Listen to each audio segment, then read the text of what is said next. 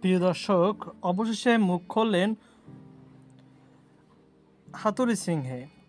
গত পাঁচই অক্টোবর ছাত্র জনতার আন্দোলনের মুখে পদত্যাগ করতে বাধ্য হয়েছে শেখ হাসিনা। দায়িত্ব ছেড়ে গোপনে দেশ ত্যাগ করেছেন তিনি। ফলে অবসান ঘটেছে টানা পনেরো বছরে বাংলাদেশের শাসন ক্ষমতা থাকা আওয়ামী লীগের। ইতিমধ্যে গঠিত হয়েছে অন্তর্বর্তীকালীন সরকার। তবে এখনও দেশের পরিস্থিতি স্বাভাবিক হয় নাই। এমন পরিস্থিতিতে রাজনৈতিক অস্থিরতার মধ্যে দেশের মাটিতে ক্রিকেটাররা অনুশীলনে ফিরলেও নিরাপত্তার ঝুঁকি থাকায় আসেনি কোচিং স্টাফদের সদস্যরা। এর আগে অবশ্য বাংলাদেশ ক্রিকেট বোর্ডের বিসিবির কাছে প্রস্তাব পাঠায় Bangladesh cricket board PCB Bangladesh ক্রিকেটাররা যাতে পাকিস্তান অনুসরণ করে, টেস্টের প্রস্তুতি নিতে পারেন, সেটা ব্যবস্থাও করে দিতে চায় পিসিবি এমন প্রস্তাবে রাজি হয় ষোলোই আগস্ট, পরিবর্তে বারোই আগস্ট দল পাঠায় বিসিবি। বর্তমানে সেখানে অবস্থান করছে দল। আগামী একুশে আগস্ট পাকিস্তানের বিপক্ষে টেস্ট সিরিজের প্রথম ম্যাচ খেলতে নামবে বাংলাদেশ।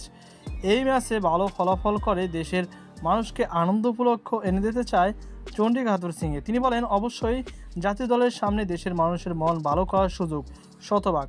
আমরা সবাই জানি মানুষকে ঐক্যবদ্ধ করা ও আশা দেওয়ার ক্ষমতা আছে খেলাধুলার। এই ম্যাচটিও ভালো খেলতে পারলে অবশ্যই বাংলাদেশের ক্রিকেট প্রেমীদের খুব উপকার হবে। গণ আন্দোলনে যাদের কাছের মানুষজন মারা গেছে তাদের পরিবারের জন্য আমার দোয়া ও ভালোবাসা কঠিন সময় ছিল। আমি আশা করি শিক্ষার্থীদের প্রশ্নগুলোর উত্তর মিলবে। এটা অভূতপূর্ব ঘটনা। আশা করি দেশ আবার স্বাভাবিক অবস্থায় ফিরবে। সব কিছু খুব কঠিন ছিল। আমার জন্য খুব আবেগপ্রবণ ছিল। তিনি এটি কথাই বলেন। তো প্রিয় দর্শক, তিনি আরও বলেন যে যদি বিসিবি বোর্ড চায়, সেক্ষেত্রে তিনি পদত্যাগ করতেও রাজি আছেন।